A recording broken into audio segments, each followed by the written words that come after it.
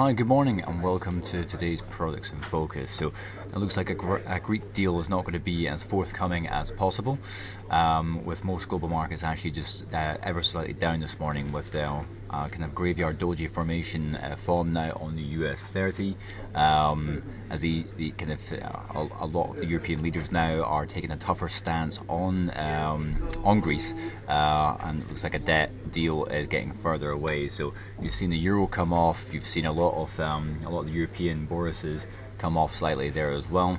Uh, and we've actually seen a massive sell off in crude oil. So we'll come back to that one in a second. But it does look, a matter of fact, I'm going to draw this level on here because we have talked about uh, the, the, the, potential for a descending triangle formation. And I think it, it is slowly coming into view right there. Um, and we are looking now at 17,546 as the next potential support level. And this red line here as being the next potential downtrend, uh, which could be a cap on further gains on the US 30, especially as. Um, there seems to be a lot of negative macro data coming out. We're obviously not that far away from non-farm payrolls now, uh, which could be quite an interesting move uh, for the US market. So we'll have to wait and see how that uh, progresses. So looking at the UK 100, you can see we've almost got a bearish engulfing pattern, a failure to break through to uh, all fresh time highs, 69.06, and next potential support 67.71. Um, very similar picture, almost got a crossover on the MACD. The other technicals are relatively neutral, albeit they did have a signal to sell uh, a couple of sessions ago on the RSI, and the slow stochastic is just about to cross over that 80% level as well. Um, we've tried to have a little rally this morning; it's failed to do so. I think 69.06.8 is going to be hard to uh, hard to break in this market just now, but we're only a couple of macro data releases away from uh, positive macro data releases away from that actually uh, bursting through. But we need to get the data coming through. Now today we've got um, unemployment claims in the US. Obviously, this interest rate decision is not going to have any impact um, because it's going to come out as as expected, and you've got the U.S. trade balance. So if these continue to follow the trend of, uh, of negative macro data for the US, then the US 30 looks uh, vulnerable, as does cable and euro dollar for more dollar weakness. Uh, and uh, Warren Buffett's come out with a new statement today. He doesn't think the US should raise rates at all for 2015. Uh, and there's obviously gro- growing uh, concern that uh, doing a rate hike too early would uh, peter out any kind future growth that we're going to see in, in the US because it has been outstripping most other global economies, and they want to keep that um, keep that strength going. So looking at Japan 225, uh, 17496 is potential support level. That's obviously been in play for a number for a number of sessions.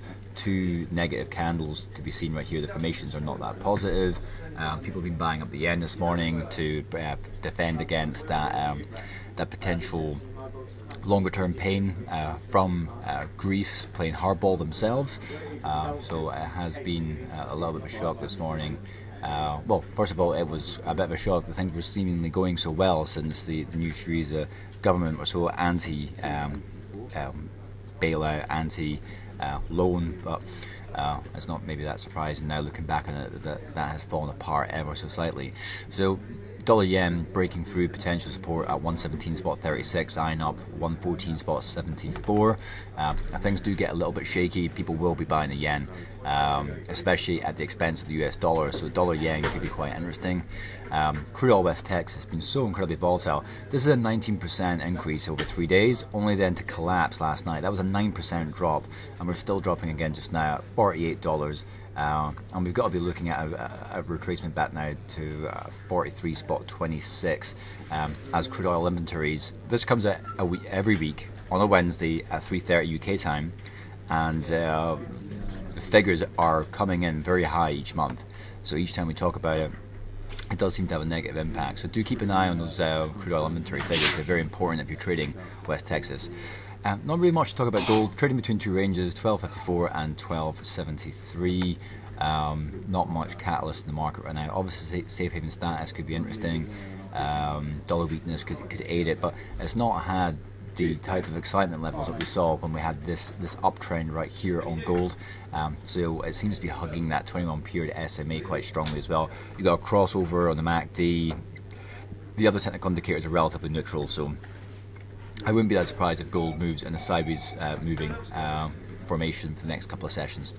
So finishing up with euro dollar and GBP USD, uh, euro dollar reverse course yesterday uh, as that Greek deal looked further away but then the dollar's not really rampant at the moment either. So I don't expect a huge amount to happen with euro dollar unless one two things. One, Greek deal comes back on the table. Either a Greek deal comes back on the table or it completely gets blown apart. In which case you see the euro to um, slightly, uh, well, obviously move in the back of that, that, that, news. Another aspect would be if the US suddenly start coming out with some more positive macro data to gain some upwards momentum because they have been doing so well, but recently that uh, the, the the data coming out of America has just been getting weaker and weaker, uh, and it had such a great run.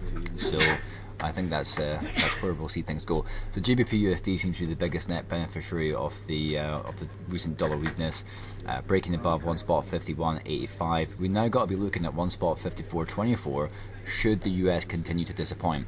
So I'm not really that interested in euro dollar versus cable, and cable's got more potential upside. Um, because sterling is a little bit more sure about itself than the euro. There's just too much uncertainty uh, with the euro. So if US disappoints again, then I think cable's got the opportunity to, to move higher.